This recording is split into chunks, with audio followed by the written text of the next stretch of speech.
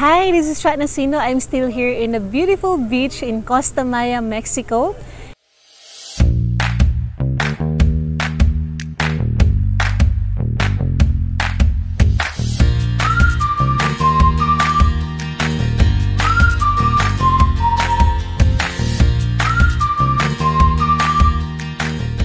And today I'd like to talk about the downside of making your passion your profession. Now, um, I really love it when you make your passion your profession. There are so many good sides.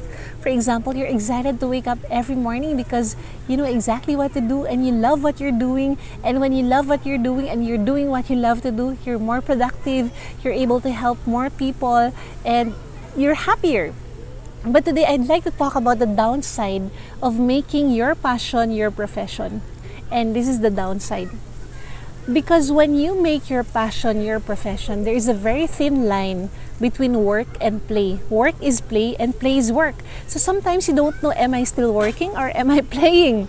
Uh, let me give you an example. One, one of my passions is writing. I love to write and I'm, a, I'm the type of person who doesn't easily get bored you you know you can leave me in a in a corner with a book and I can read a book or you can leave me in a corner with a laptop and I can write.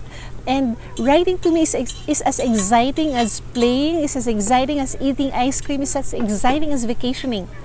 But writing since it's my passion and it's my profession writing is play but it's also work. So now how do you know when you're working and when you're not playing? So that's the downside of making your passion your profession. You don't know exactly when you are working and when you are playing. So I'm here in Costa Maya um, in Mexico. Uh, our ship just docked here. I'm actually joining the cruise of Jack Canfield, the Royal Caribbean cruise.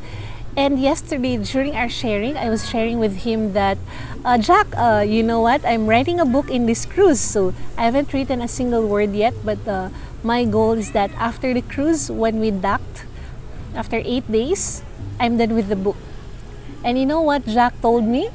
In his infinite wisdom, he told me, don't write the book, don't finish the book, just enjoy, just enjoy the cruise, just be and that was hard for me because as i've said writing i don't consider it work but it's work right? And uh, right here in this beautiful costa maya i was really planning to uh, to bring my laptop because i love writing by the beach or bring a book because i love reading by the beach. But then i wanted to test jack canfield's um, jack canfield's idea of me not writing a book of me just enjoying and so that's what I did. I didn't bring a laptop.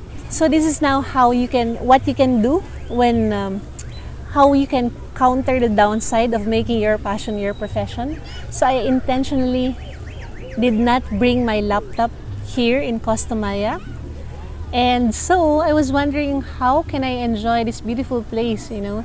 Um, and and so what I did was I just slept and I had a massage I walked by the sand, I walked in the water, and just really, I just really took it all in the sun, the sand, the wind, without thinking about the book I'm writing. I just tried to enjoy. So there. So that's a downside of uh, making your passion your profession. You don't know when you're working and you don't know when you're playing. So sometimes you don't know when you're already overworking. Okay? So the way to counter that is to be intentional about about not not working. So if if uh, work for you is writing, be intentional. Like don't bring your laptop and do something else, uh, whatever it is. So for you, what is that? What is your passion that is also your profession?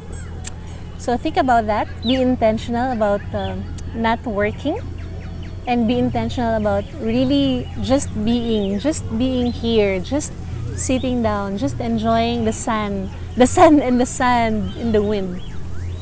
So that's it. Um, so my confession is that for the most part, 95% of the time, I wasn't on my cell phone. I was just enjoying the beach. I was just enjoying the sand. I was just being. I was just thanking God for everything that is He's doing.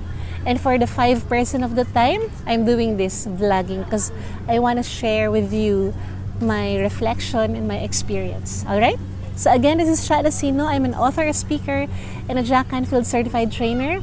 And I do send inspirational emails every Monday, Monday morning. If you would like to receive emails from me, just go to shanacino.com slash dreams and you'd also be able to download my ebook, How to Make Your Dreams Come True. Again, just go to shanacino.com slash dreams, alright? I'll see you in my next video. God bless you! Have you always wanted to write a book but you don't know where to start? Hi, this is Sino. I'm an author of 12 books and I'm also the founder of Write University and the 90 Day Book Writing Challenge. And I created a free guide wherein I answered 10 of the most burning questions when it comes to book writing. And you can get it for free. Just go to shanacino.com slash ready. Again, you can download it at shanacino.com slash ready. See you inside.